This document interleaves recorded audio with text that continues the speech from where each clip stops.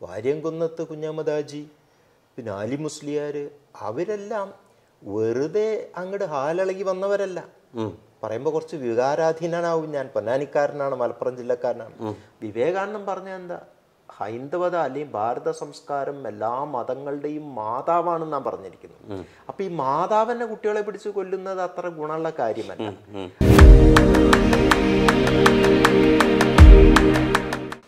K P Ramanunni സാറിനെ മലയാളികൾക്ക് ഞാൻ പരിചയപ്പെടുത്തുന്നത് ഒരു അധികപ്പറ്റാവുമെന്ന് എനിക്കറിയാം.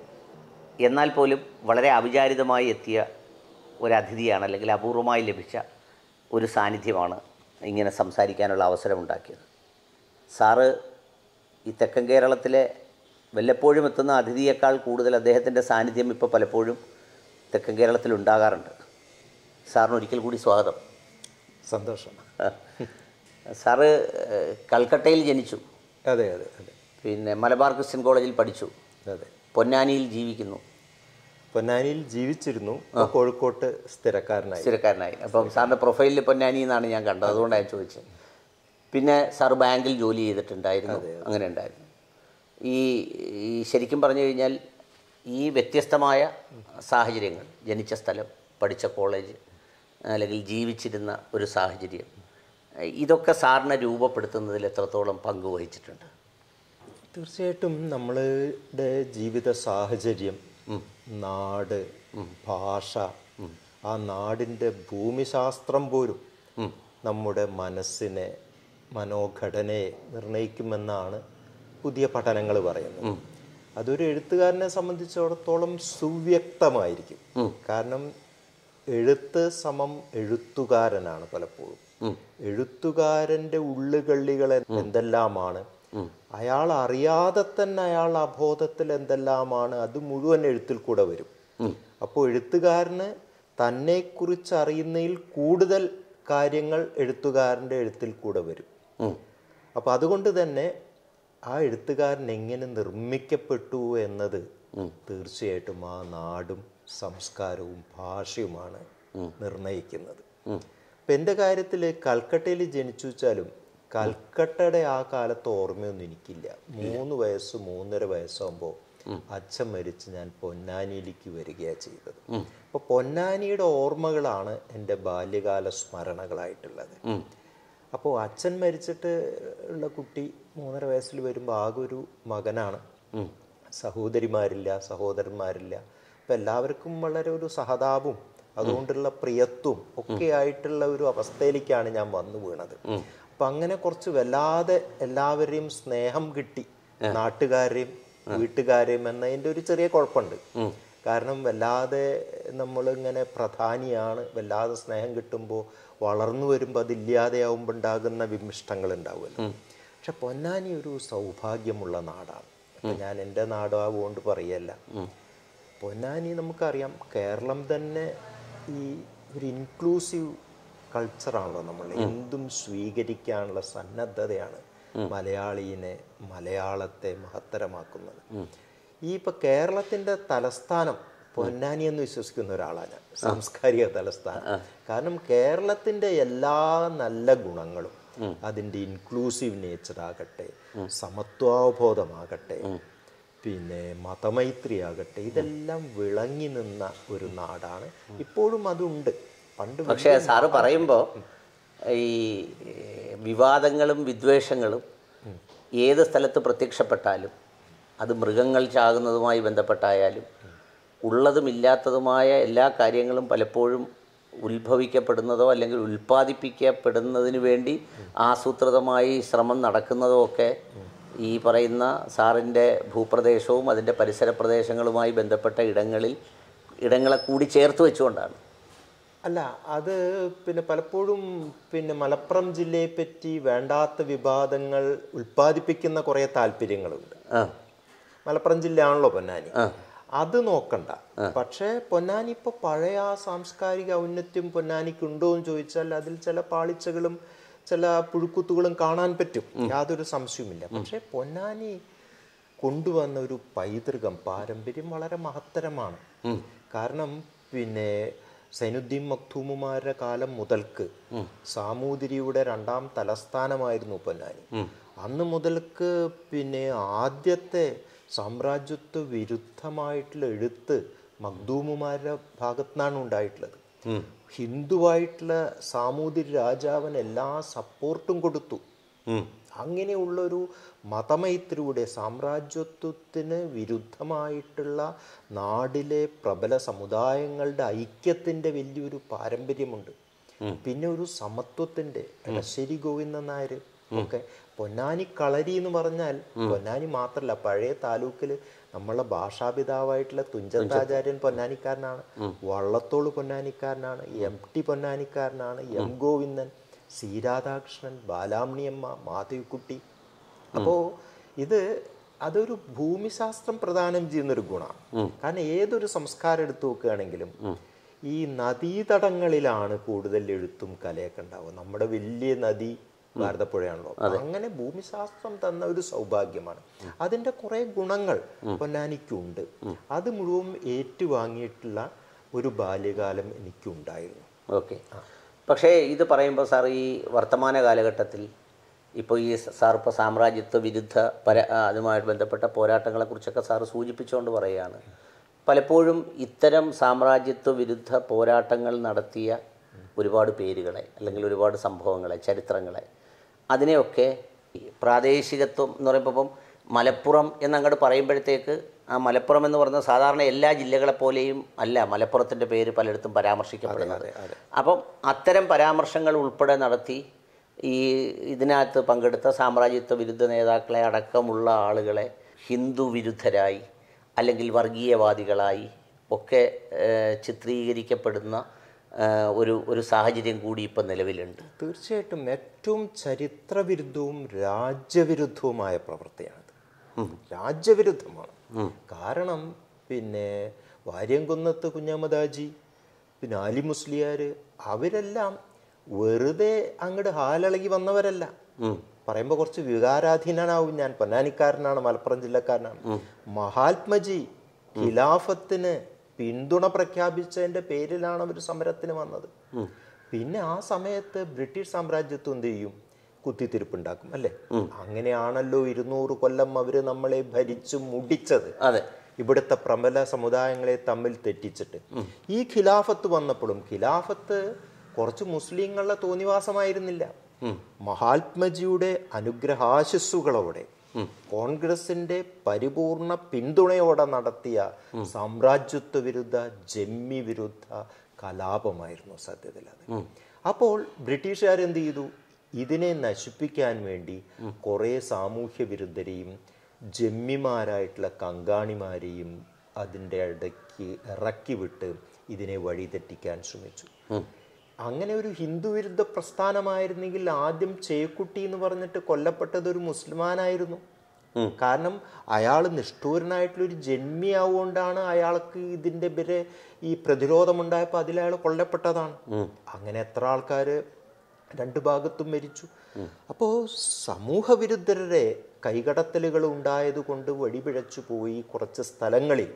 അത് തന്നെ സാമ്രാജ്യത്വത്തിന്റെ കുത്തിത്തിരിപ്പ് കൊണ്ടാണ് ഉണ്ടായത്. അല്ലാതെ ഒരിക്കലും അതൊരു ഹിന്ദു വിരുദ്ധമായിരുന്നില്ല. കാരണം എന്റെ പുതിയ സമാഹാരത്തിൽ അതിപ്പോൾ വളരെ ഒരു നിമിത്തമായിട്ട് വന്നു. ഹൈന്ദവം എന്ന കഥാസമാഹാരം മാതൃഭൂമി പബ്ലിഷ് ചെയ്തിട്ടുണ്ട്. അതിൽ അനിൽ വായിക്കണം വാര്യം കുന്നത്ത് വീണ്ടും എന്ന് പറഞ്ഞിട്ടുള്ള കഥ. പലപ്പോഴും രേഖപ്പെടുത്താത്ത ചരിത്രം അതിലുണ്ട്. അതിൽ പാണ്ടിക്കാട് യുദ്ധത്തിനൊക്കെ പൂന്താനം രാമൻ നമ്പൂതിരിയുടെ അനുഗ്രഹാശിസ്സുകളോട് കൂടിയിട്ടാണ്. പാണ്ഡ്യാട്ട് നാരായണൻ നമ്പീസ് എന്ന് പറഞ്ഞാൽ വാര്യംകുന്നത്ത് കുഞ്ഞാമദാജിയുടെ സ്വന്തം സ്വന്തം ചോരമാതിരി സഹോദര സ്ഥാനത്തുള്ളവരായി ഇവരെല്ലാം ഹിന്ദുക്കളായിട്ടുള്ള സവർണരും പൂന്താനം നമ്പൂതിരിന്ന ഹിന്ദുക്കളുടെ വലിയ ആളല്ലേ? അവരുടെയും കൂടി അനുഗ്രഹാശിസുകളോടെയാണ് മലബാർ സമരം ഉണ്ടായിട്ടുള്ളത് അങ്ങനെയാണെങ്കിൽ ഹിന്ദുക്കൾക്കെതിരാണെങ്കിൽ അവർ നിൽക്കുവോ നിൽക്കൂല ഇല്ല.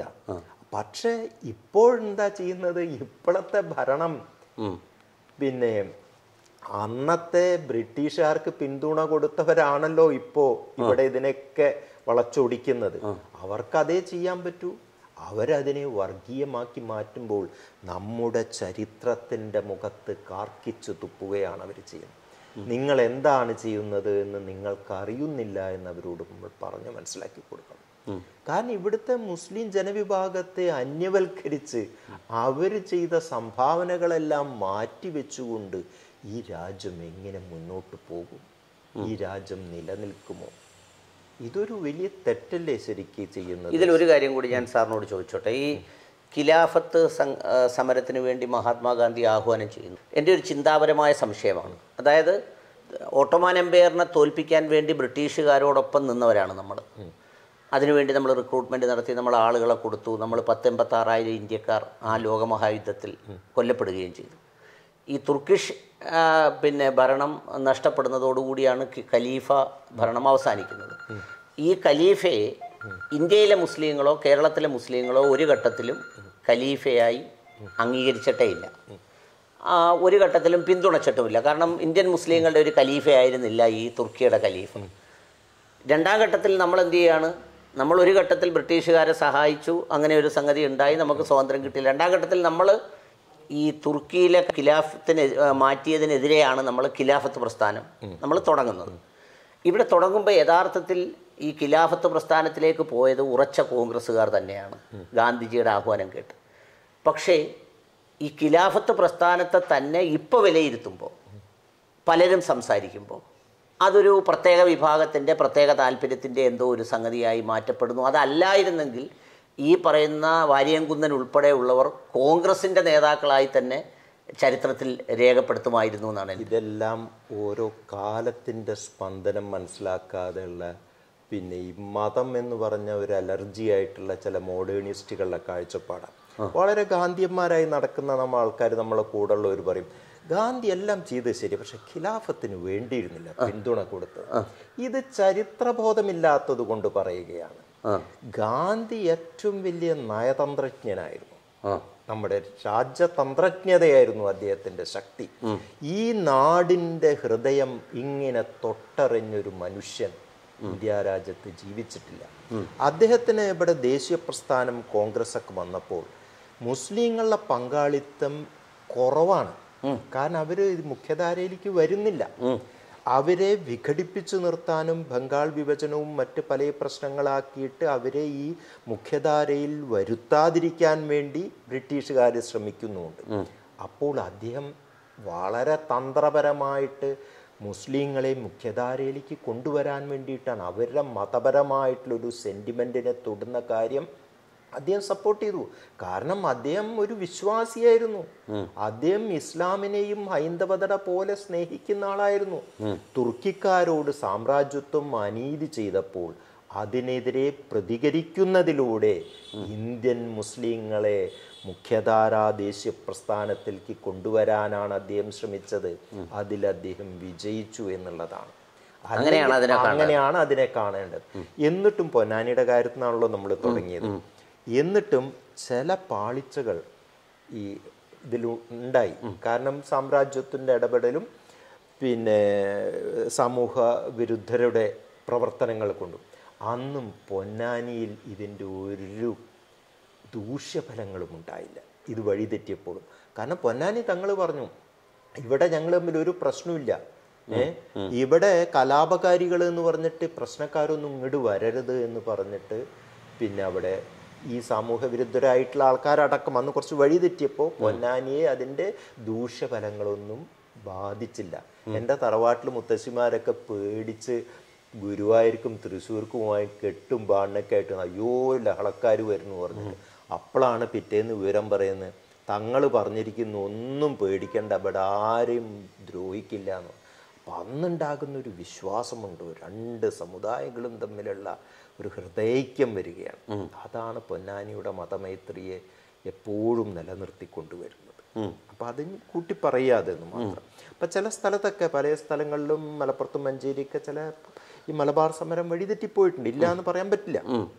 അതിന്റെ പിന്നിലെന്താ ഈ കഥ അനിൽ വായിച്ചാൽ അറിയാം. അതിന്റെ പിന്നിൽ മുഴുവൻ ബ്രിട്ടീഷുകാരെ കളിയായിരുന്നു എന്നുള്ളത്. എം ഫൈവ് എന്ന് പറയുന്ന ഒരു പോലീസ് ഗ്രൂപ്പ് അതിനുവേണ്ടി മാത്രം പ്രവർത്തിച്ചു എന്നാണ് അലക്സാണ്ടർ ജേക്കബ് സാർ പറയുന്നത്. എന്നിട്ട് ഇതറിയാതെ അതിനെ നമ്മൾ ഹിന്ദുക്കളും മുസ്ലിങ്ങളും സിഖുകാരും ഒന്നിച്ചാണ് ഈ ബ്രിട്ടീഷ് സാമ്രാജ്യത്വത്തെ തുരത്തി വിട്ടത് എന്നിട്ട് സാമ്രാജ്യത്വം പറയുന്ന കള്ളത്തരം ഇവർ പോയിട്ട് നമ്മൾ ഏറ്റെടുത്ത് നമ്മളുടെ ഇടയിൽ സ്പർദ്ധ ഉണ്ടാക്കുക എന്ന് പറഞ്ഞാൽ എന്തൊരു തെറ്റാണ് ചെയ്യുന്നത്. ഇവിടെ ഈ ഇങ്ങനെ ഒരു സംഗതിയിൽ ഇപ്പോൾ രാമനുണ്ണി സാർ തുറന്നു പറഞ്ഞതുപോലെ അല്ലെങ്കിൽ ഇത്തരം ഒരു ചരിത്രപരമായ ദൗത്യം നിർവഹിക്കേണ്ടവരല്ലേ ഈ ചരിത്രകാരന്മാരും എഴുത്തുകാരും അല്ലെങ്കിൽ അതുപോലെയുള്ള ആളുകളും? അവരിൽ ഒരു നിശബ്ദത അല്ലെങ്കിൽ നിസ്സംഗത അല്ലെങ്കിൽ അത്തരം ഒരു ഭാവം രാജ്യത്തൊട്ടാകെ പ്രതീക്ഷ ഒട്ടുമില്ലാത്ത സ്ഥിതിയിലാണെങ്കിലും നമ്മുടെ നാട്ടിലും അത്തരം ഒരു മരവിപ്പ് ബാധിച്ചിട്ടുണ്ടെന്ന് തോന്നുന്നു. ഉണ്ട്. ഒരു തരത്തിൽ പിന്നെ പറയുകയാണെങ്കിൽ എഴുത്തുകാരൊക്കെ ഇപ്പോഴും ഈ തെറ്റായ നയങ്ങളുടെ കൂടെ നിൽക്കുന്നില്ലെങ്കിലും വേണ്ടവണ്ണം എതിർക്കുന്നുണ്ടോ എന്ന് ചോദിച്ചാൽ എതിർക്കുന്നുണ്ട്. എന്നാലും എവിടെയോ ചില ഭീതികളും സംയമനങ്ങളും വന്നുകൊണ്ടിരിക്കുന്നുണ്ട്. പിന്നെ ചരിത്രകാരന്മാരുടെ ഭാഗത്ത് എന്ന് പറഞ്ഞാൽ പലപ്പോഴും എന്താ വെച്ചാൽ ഈ ചരിത്രത്തിന്റെ മെത്തഡോളജി തന്നെ ഈ ബ്രിട്ടീഷുകാരുണ്ടാക്കിയതാണ്. അതുകൊണ്ട് ഈ ചരിത്രകാരന്മാരുടെ പല സമീപനം ത്തിന്റെ അകത്ത് അറിയാതെ സാമ്രാജ്യത്വ താല്പര്യങ്ങൾ അവരുടെ കണ്ണടയിൽ കൂടെ നോക്കുന്ന ഒരു സ്വഭാവം നമ്മളുടെ അക്കാഡമിക് സമൂഹത്തിൽ പലപ്പോഴും ഉണ്ടായിരുന്നു എന്നതാണ്. കാരണം അതാണ് ബ്രിട്ടീഷുകാർ പോയാലും അവർ ആ പഴയ സാധനം പെടാൻ നിൽക്കുകയാണ്. ഈ പയ്യെ ചത്താലും മോരിന്റെ പുളിവില്ല എന്ന് പറയില്ലേ ഇതേമാതിരിയാണ്. ഇതാണ് ഗാന്ധിക്ക് ഇത് അറിയാമായിരുന്നു. ഗാന്ധി അതാ പറഞ്ഞത് നിങ്ങൾ പോയാൽ പോരാ. നിങ്ങൾ എല്ലാ സംവിധാനങ്ങളും പെറുക്കി കെട്ടി പോകണം എന്ന് പറഞ്ഞത്. അദ്ദേഹം പറയാൻ കാരണം. അപ്പൊ ചോദിച്ചു അരാജകത്വം വരില്ലേ വന്നോട്ടെ ഞങ്ങൾ മാനേജ് ചെയ്തോളാന്ന് പറഞ്ഞു. കാരണം ബ്രിട്ടീഷുകാർ പോയാലും അവരിവിടെ പോകുന്ന അവരുടെ ചില ഘടനകളും പ്രത്യയശാസ്ത്രങ്ങളും നമ്മളെ നശിപ്പിക്കുക അതല്ലേ ഇപ്പോഴും നശിപ്പിച്ചുകൊണ്ടിരിക്കുന്നത്. ഇപ്പോഴും പല നിയമങ്ങളിലും സാമ്രാജ്യത്വത്തിന്റെ ഘടനകളുണ്ട്. കാഴ്ചപ്പാടുകളിൽ സാമ്രാജ്യത്വത്തിന്റെ കാഴ്ചപ്പാട് നമുക്കുണ്ട്. ഇപ്പൊ ഇതാ പുതിയ സാമ്രാജ്യത്വമായ കോർപ്പറേറ്റുകളെ മുഴുവൻ താങ്ങിക്കൊണ്ട് നമ്മുടെ രാജ്യം പോയിക്കൊണ്ടിരിക്കുക. അത് വലിയ വിനാശകരമായിട്ടുള്ളൊരു കാര്യമാണ്. അപ്പോൾ അതാണ് അതിന്റെ ഒരു പ്രധാനപ്പെട്ട കാര്യം. ചരിത്രകാരന്മാരിപ്പോൾ നമ്മുടെ വളരെ പുരോഗമനപരമായിട്ടുള്ള ചരിത്രകാരന്മാരാണെങ്കിൽ തന്നെ സൂക്ഷ്മമായിട്ട് നോക്കിയാൽ സാമ്രാജ്യത്വത്തിന്റെ ചില കണ്ണടയിൽ കൂടെ അവരും കാര്യങ്ങൾ കണ്ടു എന്ന് നമുക്ക് ബോധ്യപ്പെടും അതുപോലെ തന്നെ ഇപ്പോൾ ഈ വർത്തമാന കാലഘട്ടത്തിൽ അങ്ങിപ്പോൾ നേരത്തെ പറഞ്ഞതുപോലെ അങ്ങയുടെ തലമുറയിൽപ്പെട്ട ആ എഴുത്തുകാരുടെ കാലമൊക്കെ കഴിഞ്ഞ് വർത്തമാന കാലഘട്ടത്തിലേക്ക് നമ്മൾ വരുമ്പോഴേക്ക് ഈ ഒരുപാട് ഗ്രന്ഥങ്ങൾ പ്രസിദ്ധീകരിക്കപ്പെടുന്നു ഒരുപാട് എഴുത്തുകൾ നടക്കുന്നു ഇതൊക്കെ വരുമ്പോൾ ഈ നമ്മുടെ ജീവിതത്തിന്റെ സമസ്ത മേഖലകളെയും ഈ സാമൂഹ്യ മാധ്യമങ്ങൾ അല്ലെങ്കിൽ ഫേസ്ബുക്കുകൾ സ്വാധീനിച്ചതുപോലെ ഇപ്പം നമ്മളെപ്പോൾ ഫേസ്ബുക്ക് തുറന്നാലും ഒരു അഞ്ച് പുസ്തക പ്രകാശനമെങ്കിലും നമുക്ക് കാണാൻ കഴിയും. ആ പടത്തോടുകൂടി മാത്രം അങ്ങ് അവസാനിക്കുന്ന തരത്തിലേക്കൊരു സംഗതി പോകുന്നുണ്ട് എന്നുള്ള കാര്യം അങ്ങ് അതിനെക്കുറിച്ച് ചിന്തിച്ചിട്ടുണ്ട്? അല്ലെങ്കിൽ അത് സോഷ്യൽ മീഡിയ അത് ഒരു ഇരുതല മൂർച്ചയുള്ള വാൾ മാതിരി എനിക്ക് തോന്നാറുണ്ട്. പല നിലയ്ക്കും ജനകീയമായിട്ട് പിന്നെ ഒരു ജനാധിപത്യമുണ്ട്. ഒരു എഡിറ്ററെ നോക്കാതെ ആർക്കും സ്വന്തം കാര്യങ്ങൾ പബ്ലിഷ് ചെയ്യാം. അങ്ങനെ പലരും മുന്നിലേക്ക് വന്നിട്ടുണ്ട്. അതേ സമയത്ത് തന്നെ അത് നമ്മളുടെ മനസ്സിനെയും സമയത്തെയും ഹനിക്കുന്ന ഒരു സാധനം. കുറേ കാലുഷ്യങ്ങൾ അതിന്റെ അകത്തുണ്ടാവും. അതൊക്കെ നമ്മൾ നോക്കാൻ നിന്ന ഈ വരുന്ന വാട്സപ്പ് ഗ്രൂപ്പുകളൊക്കെ നോക്കാൻ നിന്ന മനുഷ്യങ്ങൾ നശിച്ചു പോകുന്ന എനിക്ക് തോന്നുന്നത്. കാരണം ഇതിന്റെ അകത്തുള്ള വിഷങ്ങളും അതിനൊക്കെ പ്രതികരിക്കാൻ നിന്നാലും ഒക്കെ ഉണ്ടല്ലോ. അങ്ങനത്തെ ഒരു പ്രശ്നമുണ്ട്. പിന്നെ ഈ വായന എന്ന് പറഞ്ഞാൽ ഈ സോഷ്യൽ മീഡിയയിലെ വായന വളരെ സൂപ്പർഫിഷ്യൽ ആയിട്ടുള്ളൊരു വായനയാണത്. കുറേ ഇൻഫർമേഷൻസ് കിട്ടും. അതിലിങ്ങനെ രമിക്കുക എന്നല്ലാതെ ആഴമുള്ളൊരു വായന നോളജ് വിസ്ഡം ഉൽപ്പാദിപ്പിക്കുന്ന ഒരു വായന സോഷ്യൽ മീഡിയയിൽ പൊതുവേ നടക്കുന്നില്ല. അപ്പം ഈ പുസ്തക പ്രകാശനം എന്നൊക്കെ പറഞ്ഞാൽ ഇതിങ്ങനെ പേര് കാണുന്നു അതങ്ങ് കടന്നു പോകുന്നു അല്ലാതെ. പിന്നെ വായനയും ഇന്ന് വലിയ പ്രശ്നം വായന നശിച്ചു വെച്ചാൽ വായന നശിച്ചിട്ടില്ല. പക്ഷെ നശിക്കുന്നത് ക്വാളിറ്റി ഓഫ് റീഡിംഗ് ആണ്. വായനയുടെ ഗുണനിലവാരം നശിച്ചുകൊണ്ടിരിക്കുകയാണ്. വായിക്കുക എന്ന് പറഞ്ഞാൽ ഇന്നിപ്പോൾ ആൾക്കാർ ചോദിക്കും എന്റെ ഒരു പുസ്തകം ഇറങ്ങിയിട്ട് കുറച്ച് വായിച്ചു എന്നല്ല കണ്ടു എന്നാണ് പറയുക. അതിനെന്ന് വെച്ചാൽ വെറുതെ കാണലേ ഉള്ളൂ. അത് വായിക്കലോ അതിലേക്ക് ഇറങ്ങിപ്പോവലോ ഒന്നുമില്ല. ഇപ്പൊ ഒരു സാഹിത്യകൃതി വായിക്കുകയാണെങ്കിൽ ഇന്ന് ഒരു സാഹിത്യകൃതി വായിക്കുന്ന കുട്ടിക്ക് ആ സാഹിത്യത്തിലെ ക്യൂസ് നടത്തുകയാണെങ്കിൽ ഇടയ്ക്ക് ഒന്നാം സമ്മാനം കിട്ടും. കാരണം അതിലത്തെ ഇൻഫർമേഷൻസ് ഒക്കെ മനസ്സിലാക്കും. പക്ഷെ സാഹിത്യകൃതി ക്യൂസിന് മറുപടി പറയാനുള്ള ജ്ഞാനം ഉണ്ടാക്കാനുള്ള പുസ്തകമല്ല. ആ സാഹിത്യകൃതി വായിച്ചാൽ നല്ലൊരു കൃതിയാണെങ്കിൽ നിങ്ങളുടെ ജീവിത വീക്ഷണം മാറണം എന്നുള്ളതാണ്. അതാണ് പണ്ട് പറയും ഒരു ക്ലാസിക്കൽ സാഹിത്യകൃതി വായിക്കുന്നതിന്റെ മുമ്പുള്ള ആളല്ല അതിന് ശേഷമുള്ള ആൾ. യു ആർ ടോട്ടലി ചേഞ്ച്ഡ് ഈ അങ്ങനെ ഞാൻ ഇപ്പോൾ രാമനുണ്ണി സാറിനോട് ചോദിക്കുമ്പോൾ സാർ എഴുതിയ ഒരുപാട് ഗ്രന്ഥങ്ങളുണ്ട്. ഇപ്പോൾ സൂഫി പറഞ്ഞ കഥ അല്ലെങ്കിൽ അതുമായി ബന്ധപ്പെട്ട പിന്നെ ആ സാഹിത്യ ജീവിതത്തിന്റെ പുസ്തകം. അക്കാദമി അവാർഡ് ആ അതെ. അപ്പോൾ അത്തരം ഗ്രന്ഥങ്ങളൊക്കെ ഈ അങ്ങനൊരു നമ്മളൊരു ഗ്രന്ഥരചന നടത്തുമ്പോൾ അതിലെ എല്ലാ കഥാപാത്രങ്ങളെയും അങ്ങയുടെ ഹൃദയത്തിലൂടെയാണ് ജനിക്കുന്നത്. ആ എല്ലാ കഥാപാത്രങ്ങളുമായി അങ്ങ് മാറേണ്ടിയും വരുന്നുണ്ട്. അങ്ങനെ ഏതെങ്കിലും ഈ സ്വയം രചനയിലിടയിൽ സ്വന്തം ജീവിത വീക്ഷണം മാറ്റിമറിച്ച അല്ലെങ്കിൽ പുതിയൊരു രാമനുണ്ണിയെ സൃഷ്ടിച്ച ഒരു കൃതി എന്നുള്ള രീതിയിൽ അങ്ങനെ അങ്ങേ ആഴത്തിൽ സ്വാധീനിച്ചിട്ടുള്ള സ്വന്തം കൃതിയാണോ അതോ സ്വന്തം കൃതി സ്വന്തം കൃതി. സ്വന്തം കൃതി എന്ന് പറഞ്ഞാൽ നമ്മളൊരു കൃതി രചിച്ചു കഴിഞ്ഞാൽ അതന്നെ നമ്മളെ വീണ്ടും മോൾഡ് ചെയ്യും ഇടയ്ക്ക്. ആ. ദൈവത്തിന്റെ പുസ്തകം ദൈവത്തിന്റെ ഞാൻ പുസ്തകം.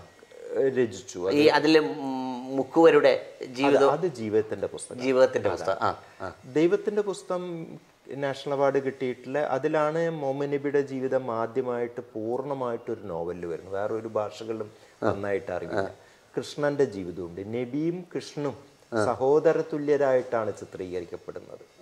അതൊരു പിന്നെ തമോഗർത്ത സ്വാധീനത്തിൽ കൂടെ കാലം ദ്വാപരയുഗവും ആറാം നൂറ്റാണ്ട് ഒന്നിച്ചു വരുന്ന ഒരു സങ്കല്പ ലോകത്ത് നബീനെ കൃഷ്ണൻ വിളിക്കുന്നത് മുത്തേന്നാണ് കൃഷ്ണ നബി വിളിക്കുന്ന ഇക്കാന്നാണ് ഇത് പൊന്നാനിക്കാരന് മാത്രം എങ്ങനെ എഴുതാൻ പറ്റുമെന്ന് വിശ്വസിക്കുന്ന ഒരാളാണ് കാരണം ആ. മതസൗഹാർദ്ദത്തിന്റെ പക്ഷെ ഇന്നാലോ ഈ വിളി ശരിക്ക് ഹൈന്ദവ ധർമ്മപ്രകാരം ശരിയാണ് ഇസ്ലാമികമായിട്ടും ശരിയാണ്. ഹൈന്ദവ ധർമ്മപ്രകാരം ഓരോ സമയത്തും ഞാൻ അവതരിക്കുമെന്നാ പറയുന്നത്. ധർമ്മത്തിന് ഗ്ലാനി സംഭവിക്കുമ്പോൾ ഞാൻ എന്ന് പറഞ്ഞാൽ അത് വിശേഷനാണ് അതായത് ദൈവത്തിന്റെ ദൂതൻ. സന്ദേശവാഹകം എന്നേ അതിനർത്ഥം നബി പറഞ്ഞ എന്താ? എന്റെ മുമ്പുള്ള എല്ലാ വേദഗ്രന്ഥങ്ങളെയും പ്രവാചകരെയും ഒരേമാതിരി ബഹുമാനിക്കണം. ഒക്കെ ദൈവത്തിന്റെ മക്കളാണ് അപ്പൊ ശരിക്ക് നബിയും കൃഷ്ണനും സഹോദര തുല്യരാണ് ശരിക്കും. അത് ഇസ്ലാമികമായിട്ടും ഹൈന്ദവ ദർശനപ്രകാരം ശരിയാണ്. പക്ഷെ ഇതൊരു നോവലായിട്ട് ചിത്രീകരിക്കപ്പെടുന്ന സമയത്ത് വൈകാരികമായി സ്പർശിക്കും. അപ്പൊ ദൈവത്തിന്റെ പുസ്തകം ശരിക്ക് വായിച്ച് മനസ്സാക്കിയിട്ടുള്ള ഒരുത്തന് ഒരിക്കലും ജീവിതത്തിൽ വർഗീയവാദിയാവാൻ പറ്റില്ല.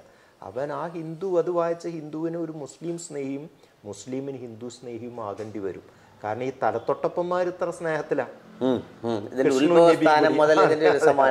അപ്പോൾ അങ്ങനെയുള്ള കൃതികൾ ഇപ്പോൾ ദൈവത്തിന്റെ പുസ്തകം വായിക്കുമ്പോൾ അതിലെ ക്യുസിന് മറുപടി എഴുതാനല്ല.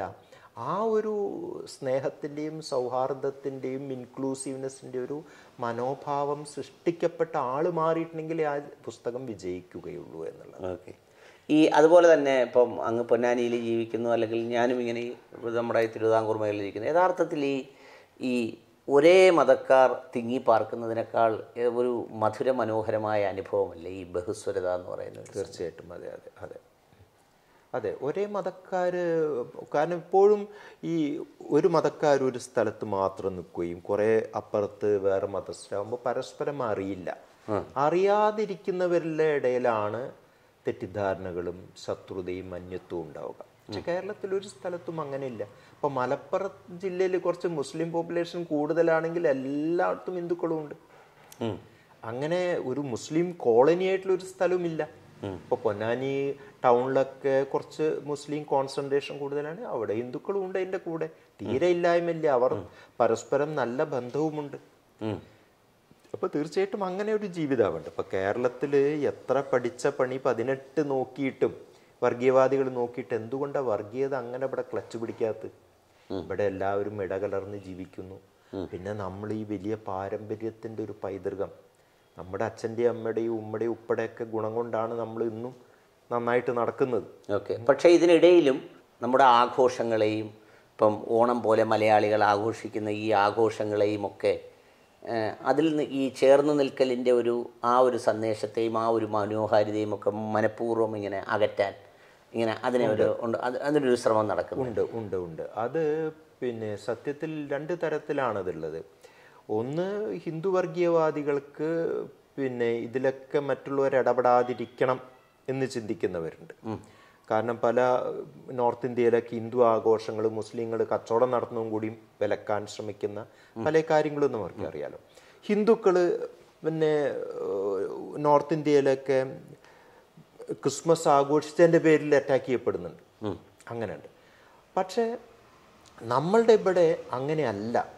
കേരളത്തിൽ പിന്നെ ഷെയർഡ് സ്പേസസ് ബിറ്റ്വീൻ റിലീജിയൻസ് വളരെ ഏറ്റവും കൂടുതലുള്ള ഒരു നാടാണ്. അതാണ് എപ്പോഴും മതമൈത്രിയുടെ സ്ഥലം. ഇപ്പൊ എനിക്ക് ഞാൻ ഉദാഹരണം പറയാണ് സീക്രട്ട് കേരള എന്ന് പറഞ്ഞിട്ട് ഡൊമിനിക് സിലാക്ക എന്ന് പറഞ്ഞൊരു ജൂത സ്ത്രീയുടെ പുസ്തകമുണ്ട്. ഞാൻ അതിന് അവതാരിക എഴുതിയിട്ടുണ്ട്. അപ്പൊ അവർ പറയുന്നത് ദൈവത്തിന്റെ സ്വന്തം നാട് സേക്രഡ് ആയിട്ടുള്ള സ്ഥലമാണ് കേരളം. കാരണം വ്യത്യസ്ത മതങ്ങൾ തമ്മിൽ സ്പിരിച്വലായ രംഗത്തുകൂടി ഷെയർഡ് സ്പേസസ് ഉണ്ട്. ഇപ്പം ശബരിമലയാകട്ടെ ചങ്ങനാശ്ശേരി ചന്ദനക്കുടാകട്ടെ പിന്നെ ഓണമാണെങ്കിലും മറ്റുള്ളവരും അതിൽ ഇടപെടുന്നു. ഇതൊക്കെ ആണ് മതങ്ങൾ ആത്മീയ രംഗത്തും കൂടിയും സഹകരിക്കുന്നതിന്റെ ദൃഷ്ടാന്തം. ഇതൊന്നും മതതത്വങ്ങൾക്ക് എതിരല്ല സത്യത്തിൽ. ശരിക്ക്.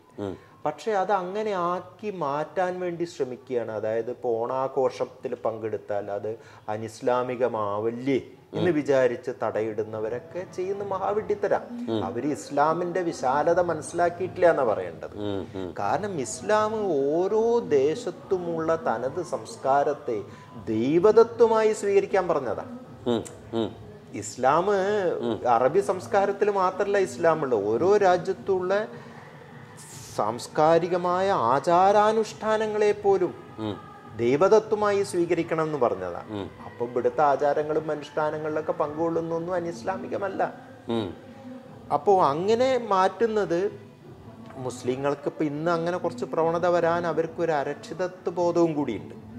കാരണം ഈ വർഗീയത വന്ന് അവർ അന്യവൽക്കരിക്കുമ്പോൾ അവർക്ക് അവരിൽ ഇങ്ങനെ കൂട്ടിപ്പിടിച്ച് നിൽക്കാനുള്ള ഒരു ഒരു സാമുദായികത.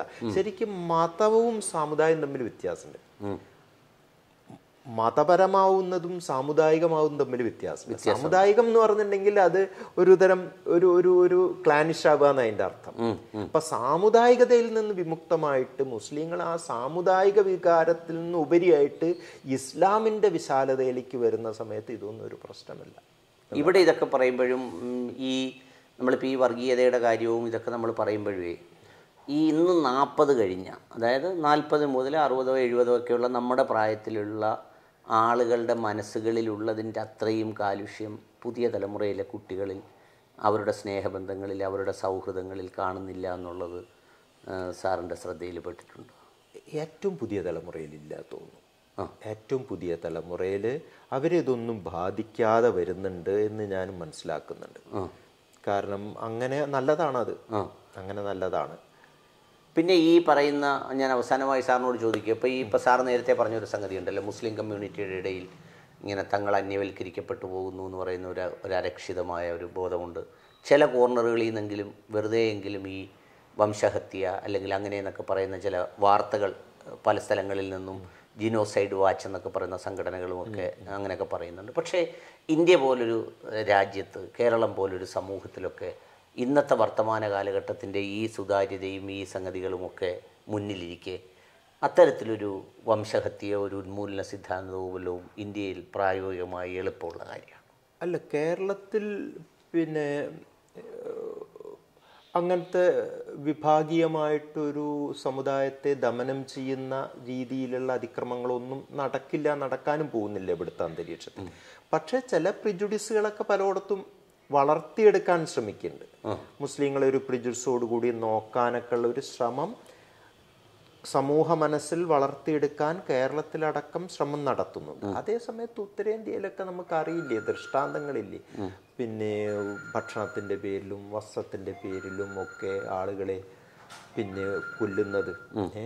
അത് ശരിക്ക് പറയുന്നത് ഇതിൽ മുസ്ലിങ്ങളെക്കാട്ടിലും കൂടുതലായിട്ട് ഹിന്ദുക്കളെ പ്രതിനിധീകരിക്കുന്നവരാണ് ശ്രദ്ധിക്കേണ്ടത്.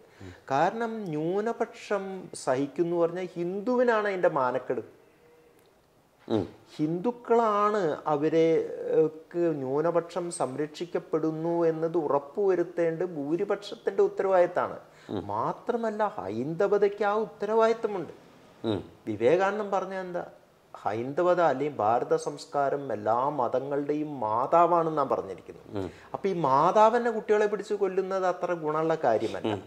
അപ്പൊ ആ നിലയ്ക്കുള്ള ഒരു പിന്നെ ചിന്ത ഹൈന്ദവ ജനതയ്ക്കിൽ ഉണ്ടാകണം. അപ്പോൾ ഹൈന്ദവത എന്ന് പറഞ്ഞാൽ വർഗീയതയല്ല അപരവിദ്വേഷമല്ല എന്നത് പിന്നെ തെളിയിച്ചു കൊണ്ടുവരാനുള്ള പ്രസ്ഥാനങ്ങൾ വേണം. അതാണ് ഇപ്പോൾ ശ്രീനാരായണ ഗുരുവൊക്കെ അതാണല്ലോ. ശ്രീനാരായണ ഗുരുവൊക്കെ ഏറ്റവും വലിയ വിശാലമായിട്ടുള്ള കാഴ്ചപ്പാടാണുള്ളത്. കരുണാവാൻ നബി മുത്തുരത്നമോ എന്നാണ് പറഞ്ഞിട്ടുള്ളത്. ഇങ്ങനെയുള്ള പിന്നെ ഹൈന്ദവ ആചാര്യന്മാരെല്ലാം ഇതര മത സ്നേഹിതരായിരുന്നു ഇവരെല്ലാം തന്നെ. ആ നിലയിൽ നിന്ന് മാറി ഹൈന്ദവത എന്ന് പറഞ്ഞാൽ അന്യമത വിദ്വേഷമാണ് എന്ന് പറത്താൻ ശ്രമിക്കുകയും ആ രീതിയിൽ ചിലയിടത്തുണ്ട് ബുദ്ധി. ഇപ്പോൾ വംശഹത്യ നടക്കുന്നുണ്ടോ എന്ന് വെച്ചപ്പോൾ ഹിറ്റ്ലർമാരി വംശഹത്യൊന്നും ഇന്ത്യയിലില്ല. നമ്മൾ കൂട്ടി. പറയുന്നു നന്നല്ല അങ്ങനെ നടക്കാനും സാധ്യതയില്ല. സാധ്യതയില്ല. കാരണം നമ്മൾ കൂട്ടി പറഞ്ഞ് നമ്മളെ മോശമാക്കുന്നതും ശരിയല്ല. അതിശയോക്തിയൊക്കെ കൂടുതൽ അപകടം ഉണ്ടാക്കുകയുള്ളൂ പക്ഷെ അങ്ങനത്തെ ചില കാര്യങ്ങൾ ഉണ്ട് എന്നത് നിഷേധിക്കാൻ നിഷേധിക്കാൻ പറ്റില്ല. അപ്പൊ അതിൽ ആത്മവിശ്വാസം കൊടുക്കേണ്ടത് പിന്നെ ഭൂരിപക്ഷ സമുദായത്തിലെ സംഘടനകളാണ്. ഇപ്പൊ ആർ എസ് എസ് ഒക്കെ പറയുന്നുണ്ട് ഞങ്ങൾ ഹൈന്ദവതയുടെ ഭാരതീയതയുടെ ആൾക്കാരാണ്. പിന്നെ നമ്മളെല്ലാവരും ഒരേ തലമുറയിൽപ്പെട്ട നമ്മുടെ അങ്ങനെയാണെങ്കിൽ എനിക്ക് അവരോട് പറയാനുള്ളത് നിങ്ങൾ എന്നാൽ ഈ പിന്നെ ഹിന്ദുവിന്റെ പേര് പറഞ്ഞ് മറ്റുള്ളവരെ തള്ളിക്കൊള്ളുന്നവർ അവർക്ക് ഒരു ദിവസം കൊണ്ട് നിർത്തിക്കൂടേത്? എന്തുകൊണ്ട് അതിന് മോഹൻ ഭാഗവത് മുന്നോട്ട് വരുന്നില്ല? അവിടെ അദ്ദേഹം ഇത് വെറുതെ പറഞ്ഞിരുന്നാൽ മതിയല്ലോ. അവർ പറയുന്നത് നമുക്ക് മുഖവിലയ്ക്ക് എടുക്കാച്ചാൽ ഹിന്ദുവിന്റെ പേര് പറഞ്ഞിട്ട് മുസ്ലിമിനെ കൊല്ലുന്ന മുസ്ലിമിനല്ല ഹൈന്ദവതയ്ക്കാണ് ചീത്തപ്പേര് എന്ന് പറഞ്ഞിട്ട് അവർക്ക് വേണമെങ്കിൽ അത് നിർത്തിക്കൂടെ? അതിനവർക്ക് മുന്നോട്ട് വരണ്ടേ? അപ്പോ ആ ഒരു നിലയ്ക്കാണ് ഞാൻ കാണുന്നത്. ഞാൻ എല്ലാവരും പോസിറ്റീവായിട്ടാണ് കാണുന്നത്. പിന്നെ അപ്പോൾ ആ രീതിയിൽ ഉള്ള ഒരു സമീപനം ആവശ്യമാണ്. നമുക്ക് ആവശ്യമാണ്. ഇത് പറയുമ്പോൾ സാർ ഒരു കാര്യം കൂടി ചോദിച്ചോട്ടെ? ഈ നമ്മൾ സാധാരണ എല്ലാവരും പറയുന്നൊരു കാര്യമുണ്ട്. ഇപ്പോൾ വളരെ ക്രോധത്തോടെ നിൽക്കുന്ന സിംഹത്തിന് മുന്നിൽ ഇരയാക്കപ്പെടുന്ന മാൻ എത്ര മാന്യമായി പെരുമാറിയാലും അധികാരവും അതിന്റെ ശക്തിയിലുമൊക്കെ വളരെ അമിതമായി അഹങ്കരിച്ച് നിൽക്കുന്ന ഒരു സമൂഹത്തിൽ ഈ ഇരയുടെ ഭാവങ്ങളൊന്നും അവിടെ അങ്ങനെ സ്വീകരിക്കപ്പെടണമെന്നില്ല. ഇപ്പം മുസ്ലിം കമ്മ്യൂണിറ്റിയിൽപ്പെട്ടവർ നമ്മൾ ചിലപ്പോൾ പറയുന്നത് അതിൽ വിടരുത് ഒതുങ്ങണം ഒതുങ്ങണം എന്ന് പറഞ്ഞാലും എത്ര ഒതുങ്ങിയാലും ഈ വേട്ട ചെയ്യേണ്ട ആളിനെ അങ്ങനെ ഒരു അവർ ഒതുങ്ങി അല്ലെങ്കിൽ അവർ ഇതായി എന്നൊക്കെ പറയുന്ന ഒരു ചിന്തയൊന്നും ഉണ്ടാവണമെന്നില്ല. പക്ഷേ ഇപ്പോൾ ഈ ഇരകൾക്കിടയിൽ പോലുമുള്ള ഭിന്നതയും ഒരു തരത്തിൽ വളർന്നു വരുന്നുണ്ട് ഈ സമൂഹത്തിൽ. ക്രിസ്ത്യൻ മുസ്ലിം അഭിപ്രായ വ്യത്യാസങ്ങൾ. യഥാർത്ഥത്തിൽ ഒരു പക്ഷത്ത് ഇതിന്റെ എല്ലാം ഭയമോ ഉത്കണ്ഠയോ ഉണ്ടാകേണ്ടവരാണ്.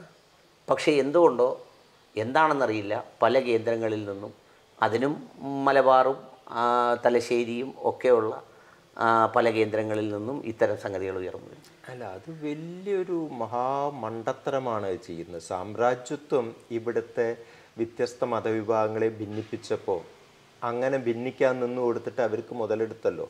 അതേപോലെ തന്നെയാണ് ഇപ്പോഴത്തെ ഈ ഒരു പ്രത്യയശാസ്ത്രം. ഒരുതരം സാമ്രാജ്യത്വ ഫാസ് സ്വഭാവം കാണിക്കുന്ന പ്രത്യയശാസ്ത്രമാണ് ഇപ്പോൾ ഈ പ്രശ്നങ്ങളൊക്കെ ഉണ്ടാക്കുന്ന ഇന്ത്യയിൽ. അതിന്റെ മുമ്പിൽ ക്രിസ്ത്യാനിയും മുസ്ലിമും വിഘടിച്ച് നിന്ന് കഴിഞ്ഞാൽ പണ്ട് ഹിറ്റ്ലർ പറഞ്ഞ മാതിരി ക്രിസ്ത്യാനികളെ പിടിച്ചു കൊണ്ടുപോകുമ്പോൾ ഞങ്ങളെ അല്ലല്ലോ വിചാരിച്ച് മറ്റുള്ളവരൊക്കെ ഉണ്ടാതിരുന്നു അങ്ങനെ ഓരോരുത്തരും ഇതിൽ പ്രശ്നമാവും. എത്ര പള്ളിയിലച്ഛന്മാർ പിന്നെ കന്യാസ്ത്രീകൾ ദ്രോഹിക്കപ്പെടുന്നു? ഈ ഫാസിസ്റ്റ് ശക്തികളെക്കാൾ. അപ്പോൾ അവർക്ക് മനസ്സിലാക്കിക്കൂടെ ഇപ്പം തൽക്കാലം ഒന്നാമത്തെ ഇതായിട്ട് വരുന്നത് മുസ്ലിങ്ങളെങ്കിൽ രണ്ടാമത് ഞങ്ങളായിരിക്കും എന്ന് മനസ്സിലാക്കാനുള്ള ഒരു സാമാന്യ ബുദ്ധി വേണ്ടേ? പല പള്ളിയിലച്ചന്മാർക്ക് ഈ ബുദ്ധി ഉണ്ട്. പിന്നെ കേരളത്തിൽ ഇതാണ് ഇതിന്റെ പ്രശ്നം. ഇവിടെ നമ്മൾ ഒരു വളരെ പദാർത്ഥവാദ ലോകത്ത് ഭൗതികമായ ലോകത്ത് മാത്രം ജീവിക്കുന്നവരായി മാറിക്കഴിഞ്ഞു. അല്ലെങ്കിൽ വെസ്റ്റേൺ മോഡേണിറ്റി അതായത് അതിന്റെ ഒരു ഐഡിയോളജിക്കലായ കാര്യം അതിലേക്കൊക്കെ പോകുമ്പോൾ നമ്മൾ വല്ലാതെ അല്ല പറഞ്ഞോളൂ സാർ. ആ ഒരു മെയിൻ സ്ട്രീം വെസ്റ്റേൺ മോഡേണിറ്റി ഉണ്ടാക്കിയ ഒരു അനർത്ഥം എന്ന് പറഞ്ഞാൽ നമ്മുടെ ഈ പദാർത്ഥവാദ ഭൗതിക ലോ ജീവിതമുണ്ടല്ലോ. അതിന് വലിയ പ്രാധാന്യം നമ്മൾ ആത്മീയവും മാനസികവുമായിട്ടുള്ള കലാപരമായ ജീവിതം സെക്കൻഡറി ആക്കി കുറച്ചു എന്നുള്ളതാണ് ഇതൊന്ന് ലോകത്തെ ഭരിക്കുന്ന ഐഡിയോളജിയാണ് ശരിക്കും മനുഷ്യൻ പിന്നെ അവന്റെ ഭൗതിക ജീവിതത്തിൽ മാത്രമല്ല രമിക്കുന്നത് ജീവിക്കുന്നത്. അവൻ മാനസികമായിട്ടും ബുദ്ധിപരമായിട്ടും ഒക്കെയാണ് പദാർത്ഥ ലോകത്ത് മാത്രമല്ല അവൻ ജീവിക്കുന്നത്. മാർക്സ് തന്നെ പറഞ്ഞിട്ടുള്ള കാര്യമാണ് ശരിക്കും നമ്മുടെ സങ്കല്പനങ്ങളും ഭാവനകളൊക്കെ ശരിക്കും മൂർത്തമായിട്ടുള്ള ഒരു ഭൗതിക യാഥാർത്ഥ്യമാണ് എന്നുള്ളതാണ്. അല്ലാതെ പദാർത്ഥങ്ങളുടെ ലോകം മാത്രമല്ല പിന്നെ ഭൗതികമായ യാഥാർത്ഥ്യം. അപ്പൊ നമുക്ക് പ്രായോഗികമായ ജീവിതവും സമ്പത്തും കാര്യങ്ങളിലും മാത്രം മൂന്നിക്കൊണ്ട് നമ്മളുടെ ആദർശവും മനസ്സും ഒക്കെ പണയം വെക്കാൻ നമ്മളെ പ്രേരിപ്പിക്കുന്ന ഒരു ഫൈനാൻസ് ക്യാപിറ്റലിസത്തിന്റെ കാലത്താണ് നാം ജീവിക്കുന്നത്. അതാണ് ഇവിടെ ഇവിടെ ഇപ്പോൾ ഉള്ള പ്രശ്നം പലവർക്കും ഈ ക്രിസ്ത്യാനിയും മുസ്ലിമും തമ്മിലുള്ള പ്രശ്നം. മുസ്ലിങ്ങൾ കുറച്ച് ബിസിനസ്സൊക്കെ ആയിട്ട് പണം അധികം ഉണ്ടാക്കുന്നുണ്ടല്ലോ ഞങ്ങൾക്ക് കുടുങ്ങിപ്പോവല്ലോ എന്ന കാലുഷ്യമാണ് പലവർക്കും ഇതുണ്ടാക്കുന്നത്. അതേ സമയത്ത് മുസ്ലിങ്ങൾക്കും ഉണ്ട്. എന്താ ക്രിസ്ത്യാനികളല്ലേ ഇത്ര കാലം വലിയ പണക്കാരും കുറച്ച് ആളല്ലെങ്കിൽ സമ്പത്ത് അവരുടെ കയ്യിലല്ലേ? ഈ രീതിയിലുള്ള മതവുമായിട്ട് ബന്ധമില്ല മനസ്സുമായിട്ട് ബന്ധമില്ലാത്ത വെറും പണം കാശിന്റെ കാര്യത്തിലുള്ള ചില കെറിവുകളും പകകളും കൂടിയാണ് ഇങ്ങനെയുള്ള നിലപാടുകൾ എടുക്കാനുള്ള പ്രേരക ശക്തി. അത് വളരെ വിനാശകരമാണ് സത്യത്തിൽ ശരിക്കും കാരണം തൽക്കാലമുള്ള ഒരു കെറിവിന്റെ പേരിൽ അവനധികം പണം ഉണ്ടാക്കുന്നുണ്ടോ? ഇതിന്റെയൊക്കെ പേരിൽ രണ്ട് നിലയ്ക്കുള്ള വർഗീയതയും വിഭാഗീയതയും ഉണ്ടായാൽ അതിൽ നിന്ന് ആരാ നേട്ടം കൊയ്യുന്നത്? നമ്മളെല്ലാം വിറ്റ് പോകാൻ നിൽക്കുന്ന ഇന്നത്തെ കോർപ്പറേറ്റ് സാമ്രാജ്യത്വം അതിന് കൂടെ നിൽക്കുന്ന ഈ ശക്തികളുമായിരിക്കും എന്നുള്ളതാണ്. അപ്പോൾ അതിൽ മതമൊന്നും ഒരു കാര്യമില്ല. അല്ലെങ്കിൽ ക്രിസ്ത്യാനി എന്ന് പറഞ്ഞിട്ടുണ്ടെങ്കിൽ പിന്നെ മുസ്ലിമിനെന്താ മുസ്ലിം ക്രിസ്ത്യാനിറ്റിയും മുസ്ലിമും കൂടിയും ഉണ്ടെങ്കിൽ വളരെ സഹമതസ്ഥരാണ്. അതെ.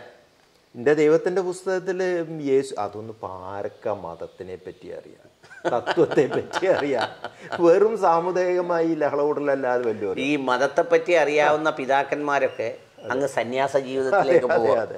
അവർ ഈ പറയുന്ന അധികാരവും പദവിയും മടുത്തിട്ട്, മടുത്തിട്ട്, അത് വെച്ച് കളിക്കുന്നവർ മാത്രമേ ഇപ്പം രംഗത്തുള്ളൂ. രംഗത്തുള്ളൂ. എന്റെ ദൈവത്തിന്റെ പുസ്തകത്തിൽ പിന്നെ നബി യേശുവിനെ അത്രയ്ക്ക് സ്നേഹത്തോടു കൂടി ഇതാക്കുന്നു. അപ്പോൾ എന്നോട് വല്ല പഠിച്ച അഭ്യസ അല്ല ഈ നബിക്ക് യേശുവിന് എത്ര സ്നേഹമാണോ? ഇവർ വിചാരിച്ചിരിക്കുന്നത് യേശുവും ദേവിയൊക്കെ ബദ്ധവൈരികളാണെന്നാണ് ഇങ്ങനെ ഇങ്ങനെയാണ് അവർക്ക് മതത്തിനെ പറ്റി ഇത്രേ അറിയൂ നമ്മളെ ആൾക്കാർക്ക്. മതത്തിന്റെ ബേസിക് വാല്യൂസ് ഉണ്ടല്ലോ. ആ തത്വങ്ങളെ പറ്റി ഒന്നും ആർക്കും ഒന്നും അറിയില്ല എന്നുള്ളതാണ്. അപ്പം അതൊക്കെ പ്രശ്നമാണ്. അപ്പോൾ പിന്നെ ഇവർ വിചാരിക്കുന്ന ഈ കുരിശുദ്ധ കാലത്തുള്ള ഈ ആ ഒരു പകയും കുരിശുദ്ധം എന്ന് പറഞ്ഞാൽ അത് യേശുവിന്റെ സാധനമായി അത് ചർച്ച ഒരു സാധനമായിരുന്നല്ലോ അതെ, അതെ. യേശുവിനായിട്ട് യാതൊരു ബന്ധമില്ലാത്തൊരു ബന്ധമില്ലാത്ത അപ്പം അതൊക്കെയാണ് മതം എന്ന് വിചാരിച്ച് നടക്കുന്ന കുറേ ആൾക്കാരുണ്ട്. ഇതുമാതിരി ഐ എസ് മാതിരി ഇങ്ങനെ ആളെ കൊല്ലലാണ് മതം ഇസ്ലാം എന്ന് വിശ്വസിച്ച് നടക്കുന്ന കുറേ ആൾക്കാരും ഉണ്ടല്ലോ നമ്മൾ ഉണ്ട് ഉണ്ട് ഉണ്ട് ഉണ്ട് ഉണ്ട്. അവരാണ് വിനാശകാരികൾ അപ്പോൾ തിരക്ക് പിടിച്ച സമയത്തിനിടയിൽ ഇത്രയും വിശദമായി അനുഭവങ്ങളുടെ സാക്ഷ്യത്തിൽ ഇത്രയും കാര്യങ്ങൾ നമ്മളോട് പങ്കുവച്ച പ്രിയപ്പെട്ട രാമനുണ്ണി സാറിന് ഒരുപാട് അഭിനന്ദനങ്ങൾ. നന്ദി. സന്തോഷം എല്ലാ വിജയാശംസകളും. ഓക്കെ.